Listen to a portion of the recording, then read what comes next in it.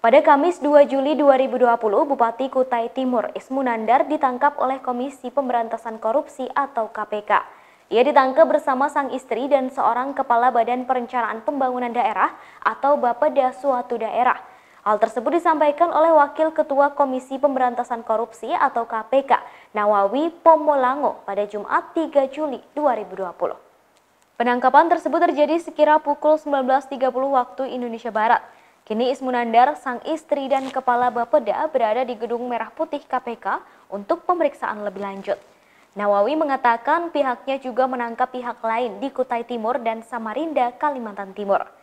Ismunandar ditangkap lantaran diduga terlibat penyuapan terkait pengadaan barang dan jasa. Diduga Ismunandar menerima sejumlah hadiah. Hal tersebut disampaikan oleh Ketua KPK Firly Bahuri. Dikutip dari kompas.com Jumat 3 Juli 2020, informasi selanjutnya soal OTT tersebut akan disampaikan lebih lanjut. KPK eh, melakukan uh, tangkap tangan tersebut uh, di berbagai tempat di antaranya adalah di Jakarta, kemudian di Samarinda, dan juga di uh, Kutai Timur, Kalimantan Timur.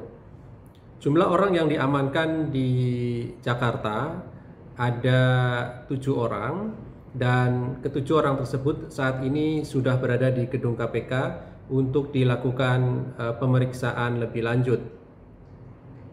Termasuk uh, pula saat ini tim KPK juga sedang menghitung jumlah uang yang nantinya akan menjadi uh, barang bukti dalam kegiatan tangkap tangan uh, ini.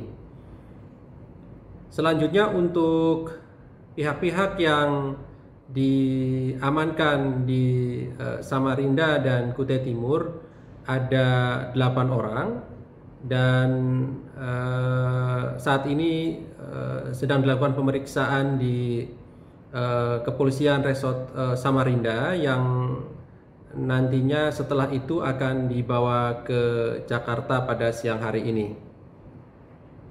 Untuk tujuh orang yang dilakukan pemeriksaan di KPK saat ini, uh, di antaranya adalah Bupati Kutai Timur beserta istrinya, dan beberapa pejabat di lingkungan uh, pemerintahan Kutai Timur dan pihak-pihak lain.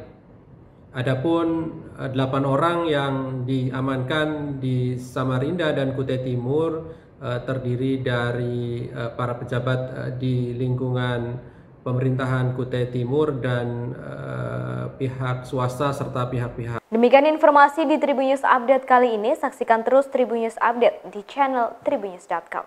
Terima kasih sudah nonton. Jangan lupa like, subscribe, dan share ya.